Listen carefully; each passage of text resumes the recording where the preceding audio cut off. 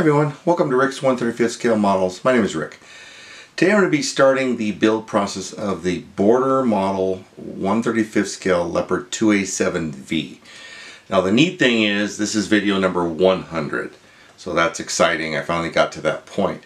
But I wanted to go into this part. Now I did do a video review on the open box of the model. Um, I now built the model.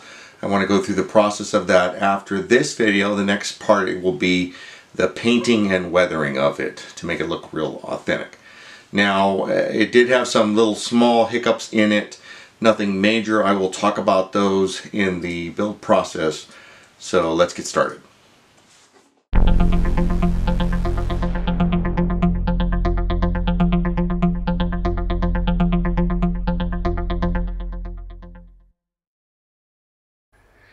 The initial stage of the model is building the lower hull. You know, that comes in multiple sections. You have the sides, the top, and the base. And then there's some supports you put in the middle. It, it all goes together real simple. There's no big complicated process in here. Just make sure you get all the little sprue pieces cleaned off right and the fit is snug or you will have alignment issues later on in the build.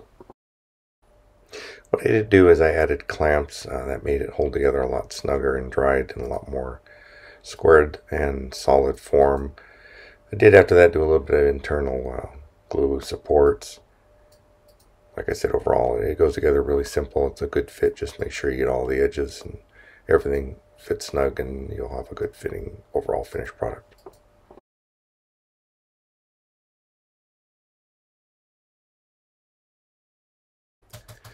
And it came time to assemble all the road wheels. There's quite a few pieces, and they, I do like the fact they have the poly caps, which makes them uh, removable. Uh, there's only two sprue pieces on each side of the track. Uh, makes it pretty simple to clean. I use a sander. No real big complication there.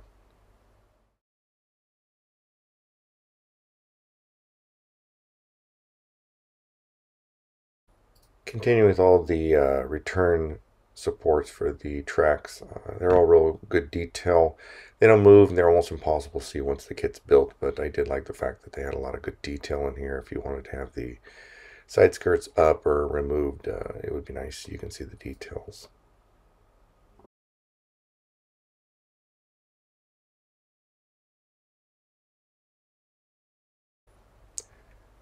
Now on the radio box for the infantry uh, that sits on the back of the tank. It didn't have a very good handle on it, so I cut that off.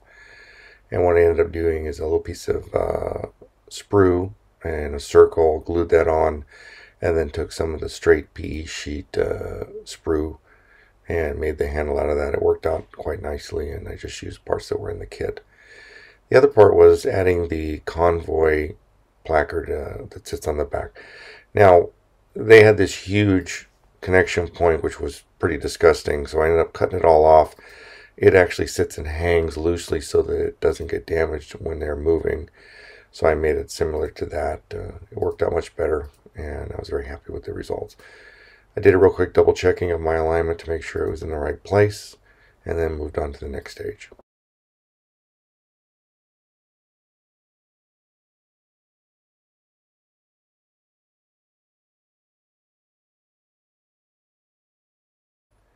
And one of the things I added here were the uh, tow cable return guards that uh, sits right on either side where the tow cable sits inside of that. Also, the uh, newer Leopards have additional tail lights, which uh, are for night vision illumination. Uh, I had to make sure they were done. So I once again double checked the reference material, made sure they were correct, and then uh, glued them in place.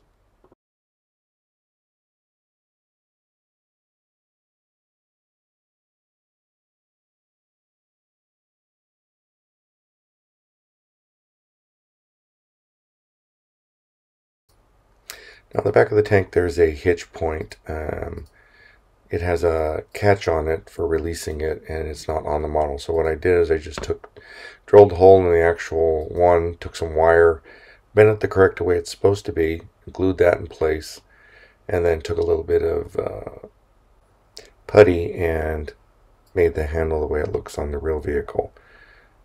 Pretty straightforward, easy uh, modification, uh, dressed it up just a little bit.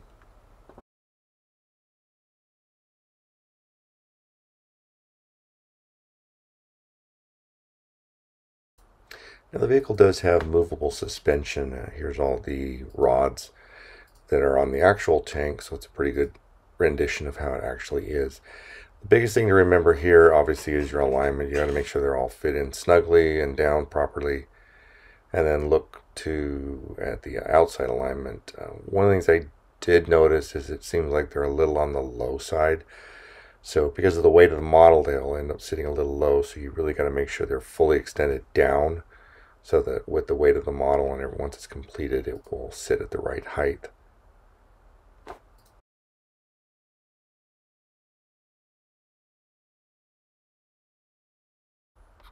After that, it was time to glue on the top of the lower hull.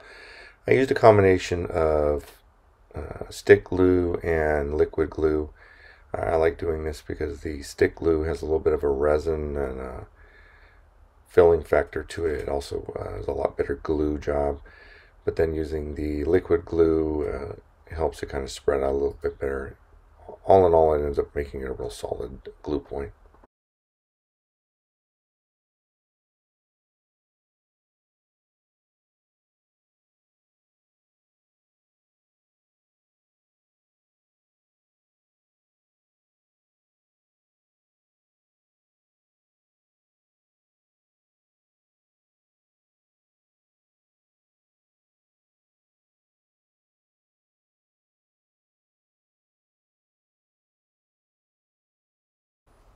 Now my intention was to add handles and I was going to design those with the 3D design and then print my own.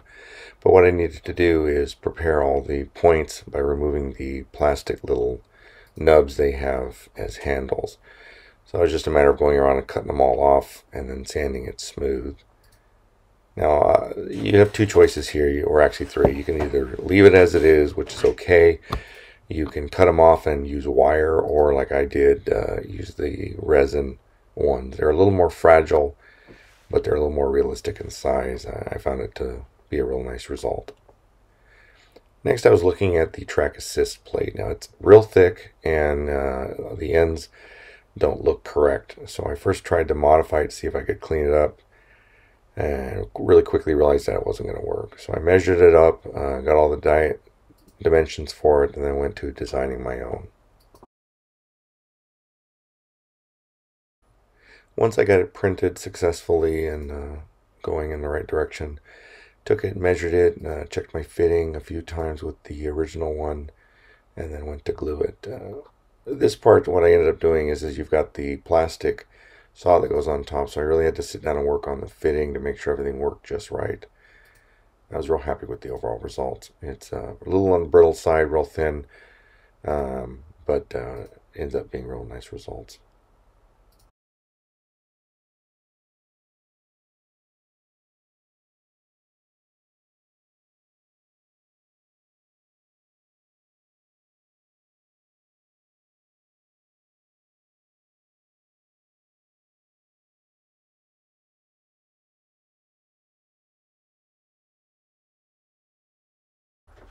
So the kit itself has some real nice PE sheets for the radiator covers. Uh, what I normally would do will be take them and put the glue down on the plastic side and then place them, take a little bit of air pressure and blow through downward to make sure all the little metal vents are cleared out. Unfortunately, I forgot to do that this time. So on one side, there's a little bit of glue visible on the perimeter. It kind of filled some of the holes. Um, I was able to salvage some of it, but it's mostly covered up, so I let it be. Biggest thing there is, like I said, remember to not put too much glue down or you'll end up filling all the holes and lose the neat effect.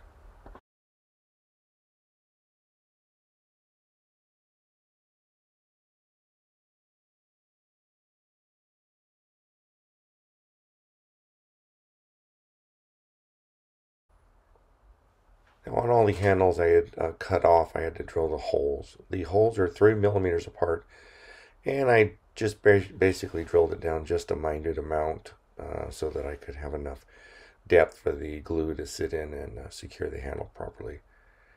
And we put a little bit of glue on the uh, wood panel there. I used CA glue and then uh, place the handle in there. Uh, this is one of those things that either works perfectly the first time or you fight that one.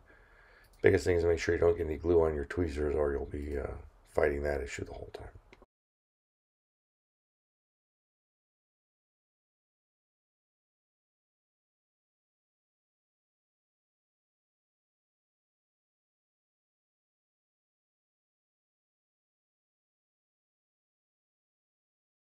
Now on the model you have your front fender, these little covers that go on the ends. Uh, the way the model has it going on, when you look at it, it almost looks like you want it with these little dimple holes on the inside, but in reality they're on the outside. So I uh, filled the holes and then sanded it down smooth so that it was uh, properly look. When you're looking at this, there's a little step in it, uh, so make sure that you have that step facing outward and there is definitely a right and a left. Uh, and they, they do not have any dimples. It's a smooth piece of rubber, so uh, just something to address. No real big challenge. Just don't miss it, or you'll be mad at yourself later on.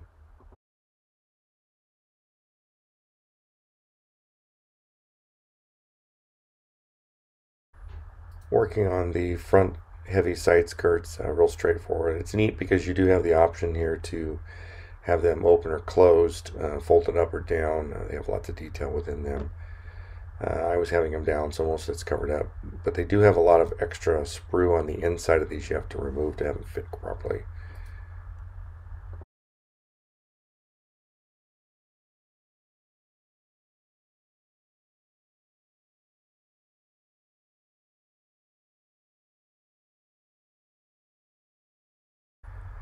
Once the side skirts and uh, front and rear were installed, I began prepping and working on the front. There's uh, quite a few details around the Spectus 2 and the headlight covers. It does have uh, night uh, illumination headlights also. So you got to make sure you get all those parts in and properly aligned.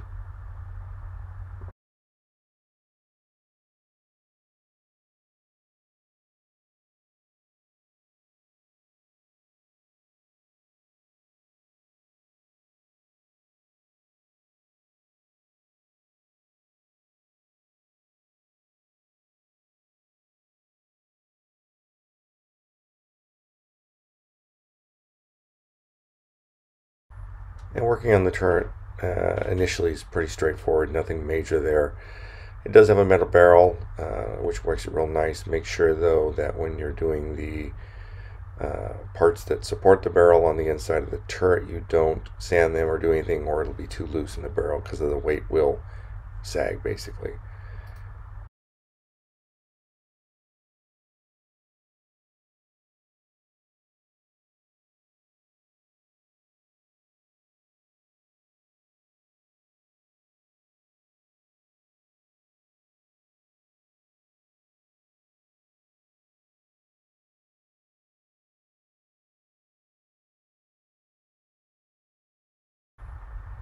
On the top of the barrel in the front there is a the sight system and then also there's a cover that is movable. This is another one of those parts. Make sure you don't glue it in place or the barrel won't work properly and it won't lay properly. Uh, it's been my experience on all my Border kits and pretty much all of them you do have to make sure you work on your fit so it's a nice smooth process so that as you move the barrel up and down it naturally stays and hangs.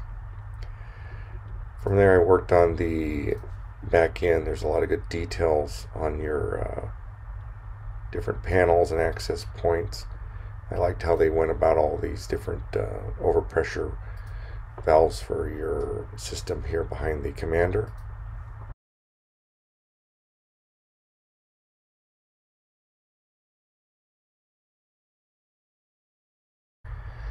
Working on the gunner's main sight uh, here one of the things that I did not do that um, in retrospect because of the added armor plating that goes on top of that it's almost impossible to get in there and paint it post build so I would suggest that you do all your painting of that part prior to doing anything further on it or you won't really be able to get to it. It's almost impossible. It, it's not real visible either but definitely go about painting it first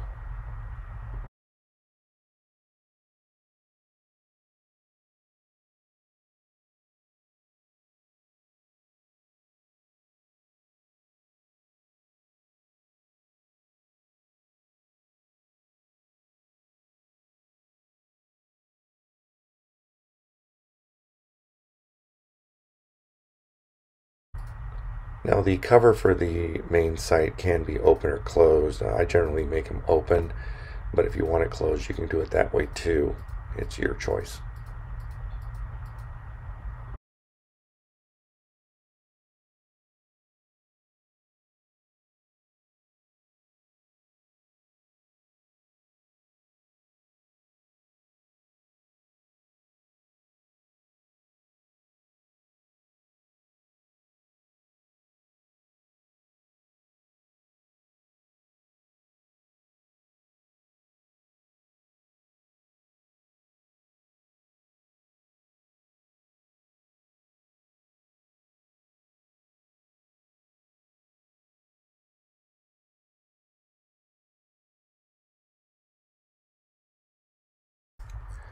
So now here I'm working on the left side of the turret. Uh, a lot of the parts have been added. Everything here went together great.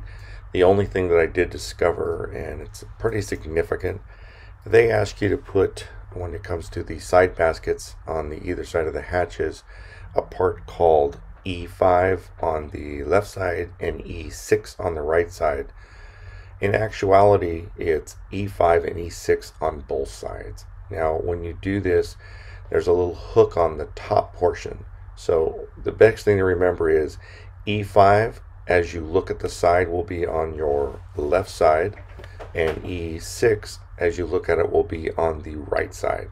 That way the hook faces inward, and that's how it latches. Now, the model does not tell you uh, to do this. It has you doing them backwards. When you look at the real vehicles, you can see how it is really done.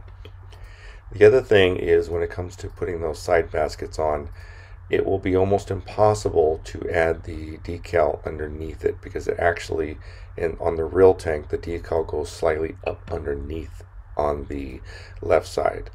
So what I would suggest is not installing it, building it, but not gluing it down until after you put, paint it and put the decals on, then add it after.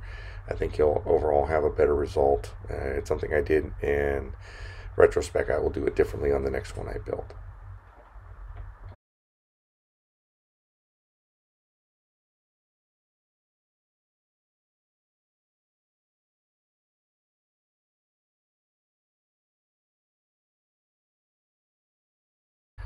Now behind the loader there's a basket with, um, on the real tank, there's a bungee cord kind of a uh, system that sits on top of this little basket I'm assembling here. What this is for is when they're out on the range firing, they put the spent base of the shells in here to storage. They don't like to throw them on the ground because of uh, the debris and uh, it causes also apparently if a vehicle drives over it sometimes it pops tires so they're responsible to return all of those to the range when they get done shooting and that's where they store them in their training exercises.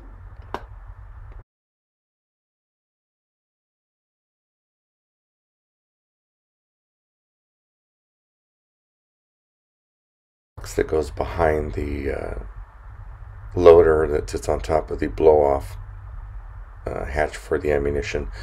One of the things you're going to notice, and I just had a question asked to me on the uh, text as of one of my videos. I've noticed on all my leopards that the front armor plate isn't in straight alignment from the right and left side. The right side, which is the gunner's side actually extends further forward and on the real leopard it actually looks like that too if you look at this video here you can kind of see how the uh, main turret it does stick a little farther forward so uh, as you build it don't panic when you don't see them aligned properly. That's how they are in the real vehicles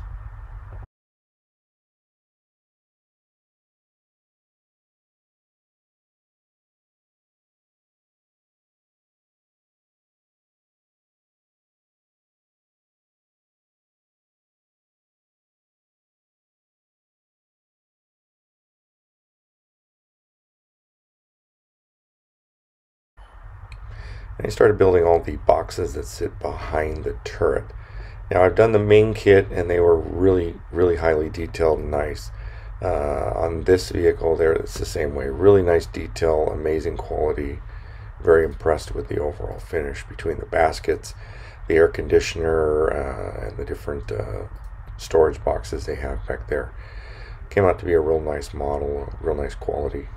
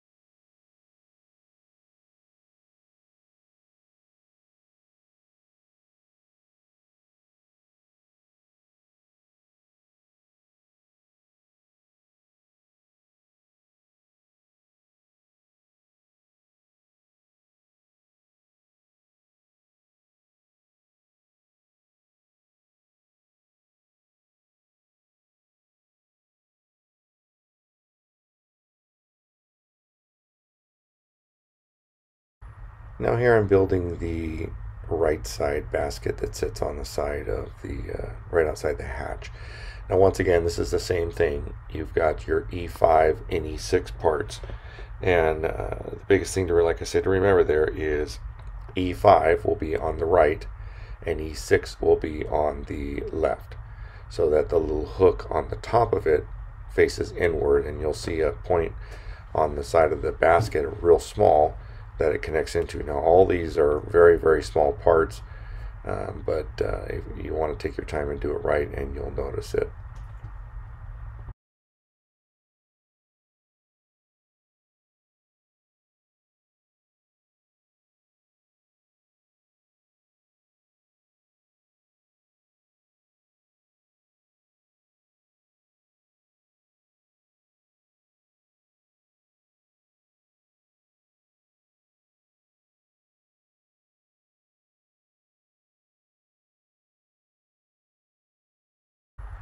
I found the PE sheets to be uh, really uh, soft and nice and easy to work with, not too delicate, but definitely pliable.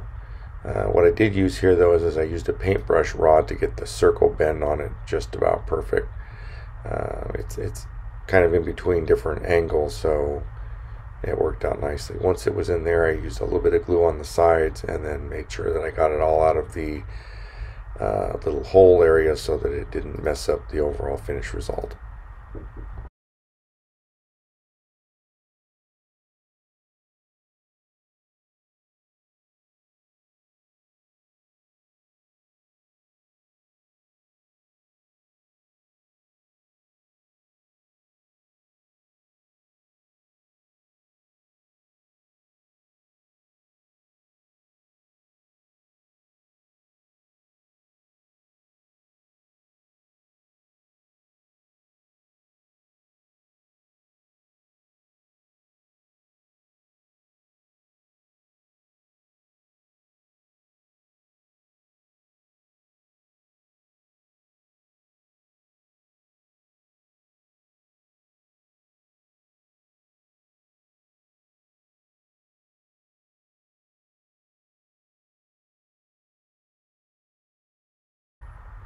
So I've glued the left side basket on and then I'm getting ready to do the right side basket. Now this is another one of those in retrospect I wish I would have uh, not put the cover on them initially. Uh, I've noticed if you look a lot of pictures of the real ones you'll see items inside of there stored. Um, but it kind of makes it hard to paint it. Uh, one of the things I see a lot of is like orange uh, vests and things like that. You'll you'll notice. Uh, in retrospect, I should have left the covers off, and then after I painted the thing, added something inside of there, and then glued it down. I think it would have made a little more neat effect. Um, but on the next one, as I said, that'll be one of those I'll do on the next model.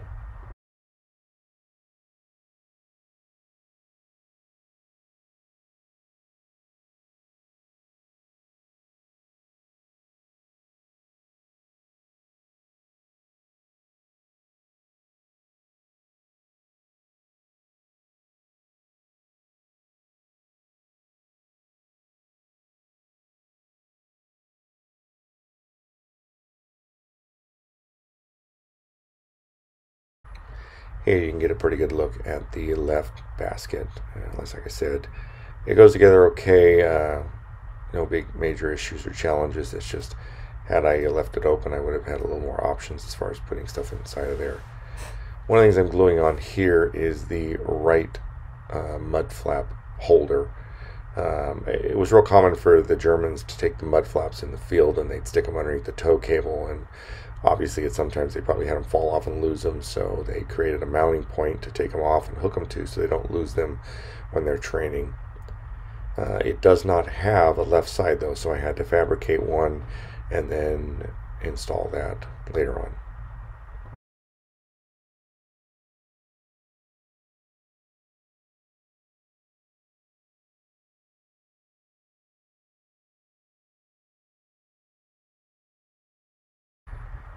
The tracks go together easily. Uh, what I end up doing is as I build little sections at a time, and I, I like the Feller glue that has a little applicator. Uh, you fill a little reservoir on the inside. When you pop the track down in there, it ends up making the track still work, and it's glued securely.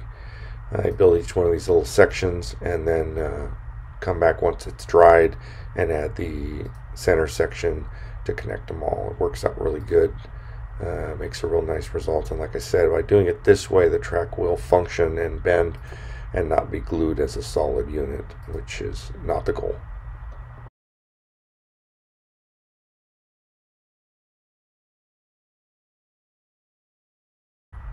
Now here I'm adding in some of the resin parts I've designed.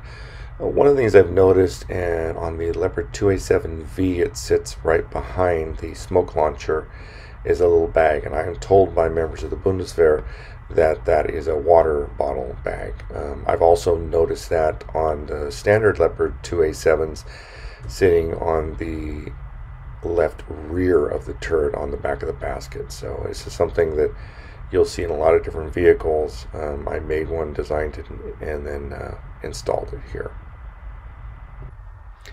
The other modification they've been doing and retrofitting all Leopards is a uh, vinyl bag that sits between the loader and the commander's hatch. That holds an MP7 submachine gun. And then in front of the loader's hatch is a second vinyl bag that holds the G36 uh, assault rifle. They also have uh, a hard box that sits in front of the commander that holds two additional G36 uh, assault rifles. Inside of the tank, they also have additional places for the MP7 submachine gun. But so that's the uh, build portion of the video. As you can see, I have someone here to decide to bug me. This is about my fourth take at this part of the video, and she won't leave me alone. So she's going to be part of the video. Anyway, um, superb model. I love the Border kits. I'm, I'm looking forward to uh, the painting process. Uh, as far as showing you, I've already painted it, but I will be weathering it next. Um, it's an outstanding model. Uh, any of the issues I've had are minor. They, can easily work through. It's just giving everybody a heads up. Anyway, everyone take care. Happy modeling. More videos coming soon, uh, along with the finishing of this model. I do have the Ryefield Leopard 2A7V en route as we speak. Should be here in about a week and a half to two weeks um, with the upgrade kit. And then I also have to start my Leopard 2A7 in the uh, Ryefield model also. But having said all that, let's back to this video. Comments and questions always welcome. Please like, subscribe. Any uh, questions I, I, welcome. I will help you with any issues or questions you have. Uh, so as I was starting to say, Take care. Happy modeling. Get me on Facebook. Get me in YouTube with the text if you have any questions or email me. I'll be happy to answer any questions, comments.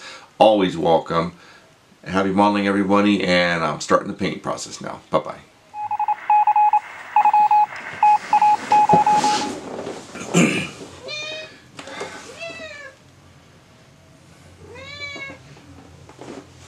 So that's the model. As you can see, I have my uh, assistant here supervising my work. Um, anyway, film videos is fun. You always have a cat that wants to bug you. So,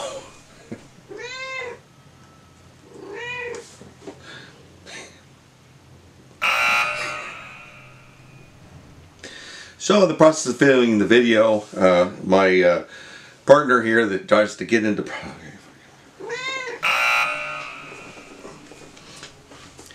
so